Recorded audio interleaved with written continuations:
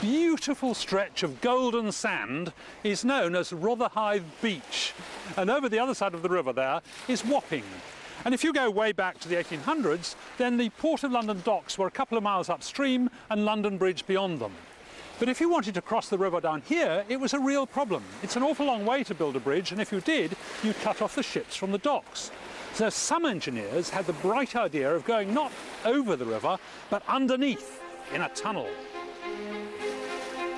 The first attempt to build a tunnel under the Thames was made by a man called Ralph Dodd in 1798. He tried to build a tunnel between Gravesend and Tilbury, but he quickly ran into quicksand and out of money. In 1807, Richard Trevithick, the man responsible for inventing the steam locomotive, began work on a tunnel between Rotherhithe and Limehouse, but this caved in and was completely flooded. Work never resumed. The chap who built the first successful tunnel under the Thames was Brunel. Not the flamboyant Isambard Kingdom Brunel, but his dad, Marc Brunel, who was a French engineer. Now, the story goes that Marc, when he was working at Chatham Dockyard, was inspired by seeing a thing called a shipworm, Teredo navalis, which used to bore its way into the oak timbers of ships and eventually they crumbled. Now, this walking stick has a handle made of driftwood, and I'm told that those wormholes are not actually woodworm, but shipworm. That is Teredo navalis. The shipworm bores through wood using its powerful jaws and then lines the tunnel it's made with a hard excretion. This is what gave Marc Brunel the inspiration for the invention of the tunnelling shield. The miners would stand on platforms. In front of them were planks of wood holding back the soil. They'd unscrew one plank, remove 18 inches of soil from behind it, then push the plank into the hole. Then they'd unscrew the next plank and do the same. Eventually, when all the planks had been moved forward, the whole structure was pushed 18 inches towards Wapping. Then the area excavated behind the shield was lined with bricks, like the hard excretion of the shipworm.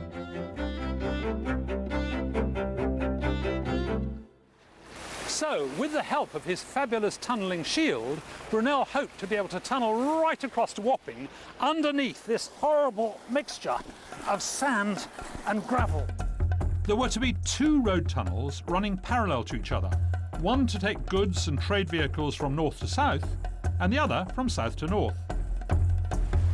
Marc Brunel might have found it easier to start a few hundred yards back and dig a gentle slope downwards, but that would have caused far too much disruption to the area.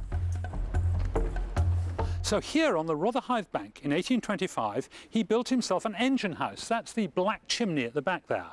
And then he built an enormous brick cylinder. This thing that looks like concrete is actually bricks. The cylinder was 50 feet wide and 40 feet high.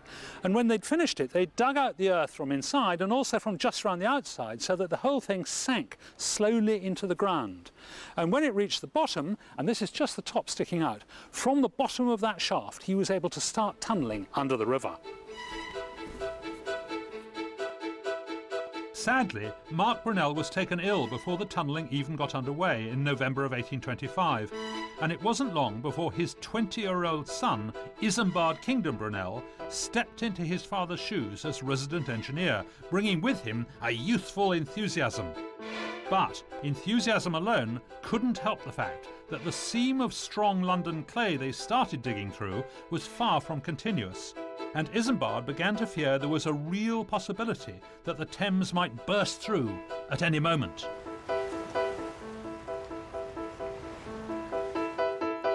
I want to know what London's actually built on. So I've come to the lab to meet Chris, who's a materials engineer. You, you know about these things, do you? Certainly do, yes. Yeah, good. So this is this what London's built on?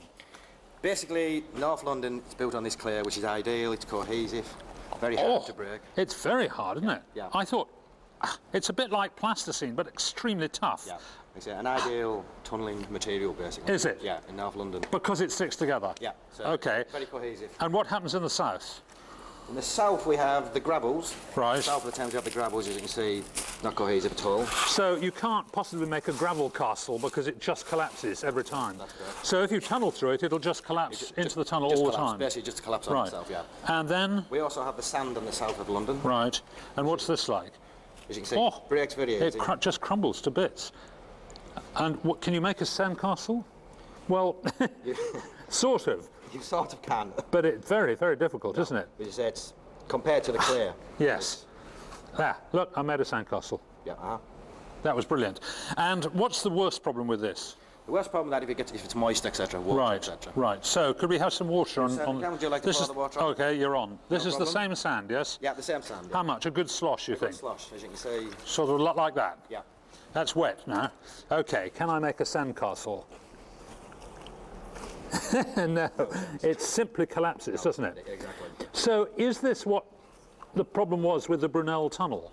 That's correct. Yeah, the exact same problem. So they started in clay, Uh-huh. but they ran into gravel and sand, Basically sand and gravel. and it simply collapses. To get a feel for what it must have been like for Brunel's miners, I decided to take a look at the tunnel myself. It's now part of the tube network between Wapping and Rotherhithe. Metronet, who now maintain the tunnel, were kind enough to show me round.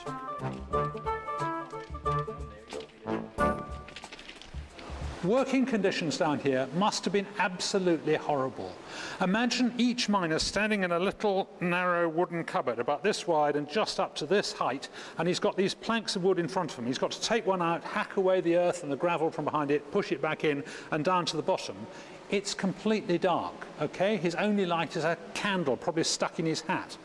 The air is absolutely disgusting, thick, full of smoke, full of all sorts of horrible smells. The roof is perpetually leaking, and it's not leaking water, it's leaking raw sewage because the whole of the Thames was just an open sewer. So it must have been completely foul. Men got really ill down here. And then they had a catastrophic flood in May of 1827, and they had to wall the thing up and pump all the water out and take all the mud out. And then, to celebrate the fact they were going again, they had a great feast. Martin, tell me about the feast. It must have been around here, was it? Yes, I believe it was in this area, and uh, there were uh, two separate tables. I believe the uh, gentry were in this board here, and the workmen were On the other tunnel.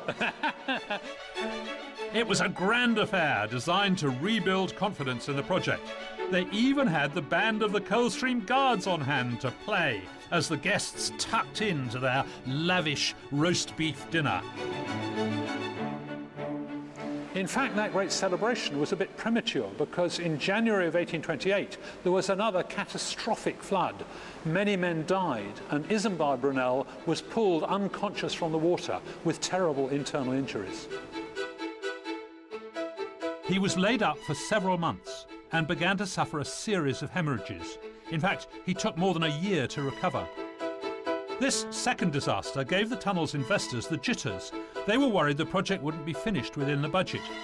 In August 1828, the workers were paid off and the tunnel, which had only reached halfway, was bricked up. We must be just about halfway now, are we? Yes. Hey, and that's Wapping, yes, that, that light there. And if you look the other way, that's Rotherhithe. Fantastic. So we can see the whole width of the river. And it's, how far did you say? 365 metres. 365, about 400 yards from one side to the other. And we must be right underneath the river. It's not going to start leaking, is it? No, I think we're, we're safe enough. Great. Seven years after the disaster, in March 1835, tunnelling resumed, after the Treasury coughed up a £270,000 loan. But three more floods drained funds, and when the excavation reached the North Bank in 1841, there was no money left to build the approach roads needed for goods vehicles. Only pedestrians would be able to use the tunnel. So now there's a sort of doorway into the other tunnel. What do you call these? Uh, these were one of 64 passages, that, uh, cross passages that were uh, installed in the original tunnel. Um, understand that uh, in the early days when it was in use as a pedestrian tunnel, lots of stall holders used to set up and Oh, really? Selling whelks and things. And there's no, no, trinkets. It's very elegant, isn't it? I mean, it's a nice, it's built to be looked at. Indeed, and um, in the reconstructed section of the tunnel, we've replicated these features, so you'll see that they're pretty well identical. Oh, fantastic. Let's go and have a look. Martin Roach worked on the refurbishment of the tunnel in 1995. The team retained as much original brickwork as possible, and any repairs that had to be made also reflected Brunel's original design. Given that it's concrete, the shape is absolutely gorgeous, isn't it? Yes, it was qu- quite elaborate. That's fabulous. I do like that. How many of these have you done? Uh, 56 in total. You've done 56 new cross passages. That's terrific. Why don't you set up stalls in here? But we don't get too many people walking down here these days. No, I guess you don't, no. It's a shame that not many people get to see Brunel's handiwork close up. It can be easy to forget that what's now just a short stretch of tube was the first tunnel of its kind and was once even hailed as the eighth wonder of the world. Now this is Brunel's original shaft. Look, this is the brick cylinder, his original bricks on the Wapping side. And this is one of the spiral staircases that he must have come up. I'm actually walking in the footsteps of the master, and indeed all his pedestrians must have come up the same way too. I think it's great that such an important tunnel and shaft has been preserved so well, but in future, something tells me I'll be taking the lift. Wow, I'm glad I don't have to do this too often. Whew. This is the Tower of London, arguably the most famous of all the London tourist attractions, visited by millions of tourists every year. But what none of them notice is this funny little building right next door. It says round the top, London Hydraulic Power Company Tower Subway, constructed AD 1868.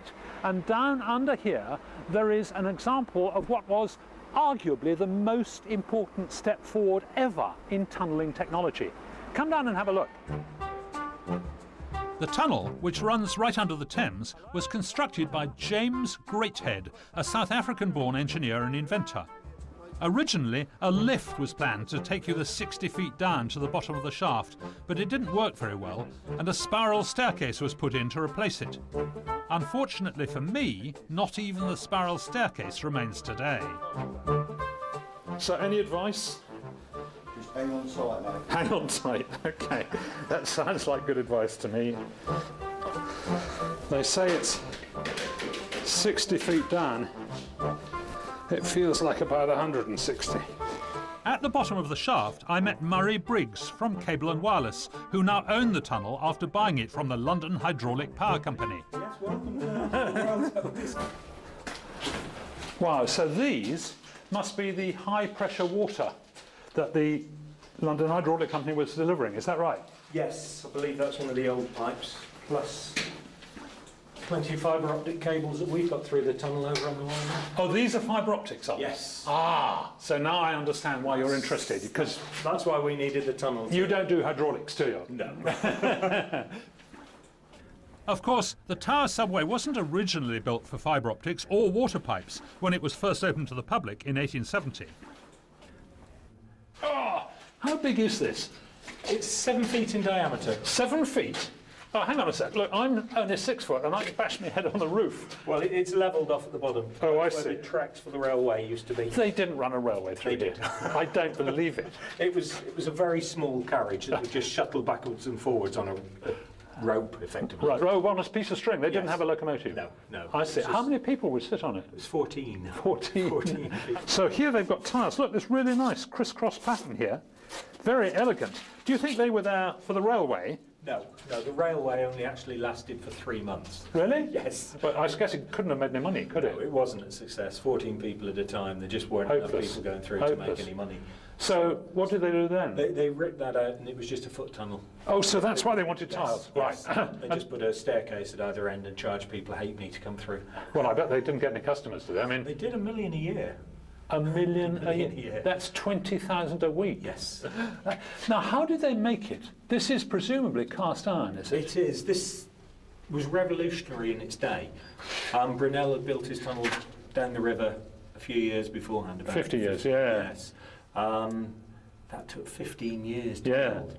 But this tunnel, when it went through, was done in 10 months. 10 months? Yes. And it cost £16,000. That's It amazing. was the Greathead shield was the technology they used. So what's, what's different about that? Well, Brunel had used a shield to go through, which is Yes. effectively just a construction at the front of the tunnel to support the tunnel as you build it. Yeah. But here they used a round wrought iron shield with Right. a little door in that was effectively just pushed into the clay.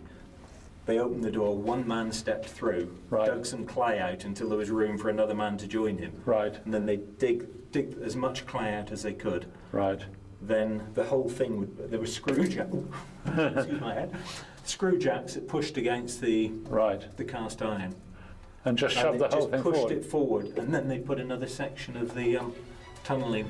Right, and just bolted it in. And it's all just bolted in. Another thing James Greathead's new tunnelling shield had over Brunel's almost square shield was, of course, its shape. This is a modern tunnel designed for commuter trains, actually for Thameslink. And it's virgin, you can see they haven't put the floor in, they haven't put the railway lines and various other bits of gubbins. And you can see because of that, that it's a perfect circle in cross section, which is because that's an inherently strong shape. You see, if you have a flat roof on a tunnel, there are terrific forces from above, and eventually it's liable to give. But if you have a circle, that spreads the forces. Engineers call them hoop forces, and the forces go round the outside of the tunnel, and it's not going to buckle. It's a wonderful shape for a tunnel. Unsuccessful as a rail tunnel, the Tower subway took another blow. Pedestrians stopped using it when Tower Bridge opened in 1894 and they could cross the Thames for free. But Greathead's work had not gone unnoticed, and he was about to use his tunnelling shield on a far more ambitious project. Until the late 1880s, underground railways in London were built just below the surface, in cuttings, and then roofed over afterwards. This was called the cut and cover method, but it was very disruptive and also very expensive. So in 1886, Greathead was appointed to dig a deep tube railway, deep underground, from the city to the southern suburbs, specifically to Stockwell in South London. This eventually became part of the Northern Line. But going deep underground like that posed another problem for them because steam trains couldn't operate deep down and they had to find a new method of propulsion. The solution was the new technology of electric traction. Although electric tramways were becoming common in the United States of America, no one had ever tried to build an electric railway, let alone an underground one. This is the Acton Depot of the London Transport Museum, and I'm with Christian Wolmar, who's written the definitive book about the London Underground. Now, Christian, what's interesting or special about this lump of machinery here? Well, this is the first locomotive, electric locomotive, to be used on the London Underground. Basically, when they started building underground systems deep under the London clay, uh, they couldn't use steam and they had to have electric power. And I guess once they got electric propulsion, they could dig a lot more lines. Well, this was the whole change uh, uh, that uh, enabled London to basically get a big network of underground lines because uh, initially uh, there were steam lines near the surface. Uh, and now with electricity and with deep tunnel digging, they were able to build a whole network. And so we got three or four lines built, largely by an American called Charles Yerkes, who was a bit of a crook because we're not quite sure how he raised his money, and his shareholders didn't do very well. But at least he gave us the Piccadilly line, part of the Northern line, the Bakerloo line, all in the space of four or five years. So you say Yerkes was a bit of a crook. How did he actually raise the money? Well, actually, Yerkes was one of the first people to really use what later became known as junk bonds. Essentially, kind of, he issued paper on the basis of kind of promising to people, pay people lots of money, but which never really materialized, uh, raised a lot of money like that, some staggering amount of money, 16 million pounds, and paid for the system uh, to be built. But we have to be very grateful to him because without him, you know, we might not have all these tube lines. So, despite being great leaps forward in technology, all the tunnels we've looked at so far proved to be financial disasters. I went to see London's newest deep level tunnel, the Channel Tunnel Rail Link at St Pancras, to find out how Brunel and Greathead's principles have evolved. I hoped that today's tunnellers were having fewer money worries than their predecessors. In the old days, they dug tunnels by hand, but these were dug using a tunnel boring machine, or TBM. The TBMs are fantastic. They're 100 metres long, they weigh 1,100 tonnes, they're completely self-contained with a galley and loos and all that sort of stuff on board, and they work 24 hours a day. They have great big teeth in front to chew up the earth, and they spit it out the back onto a conveyor belt.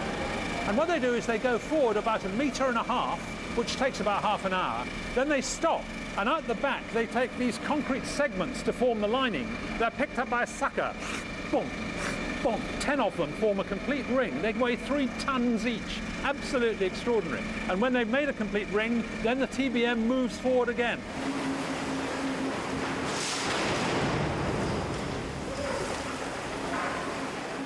I've come now right into the tunnel, right into the solid concrete here, and they tell me I'm 20 metres underground, which is a little bit scary, but, but actually there's a lot of tunnel and there's a lovely fresh air blowing through.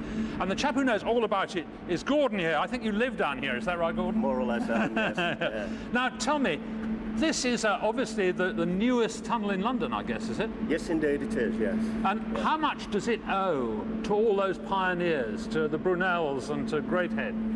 It owes very much, um, a lot to, to James Greathead in particular. And these tunnels um, were driven with state-of-the-art tunnel boring machines that still adopt that same principle today.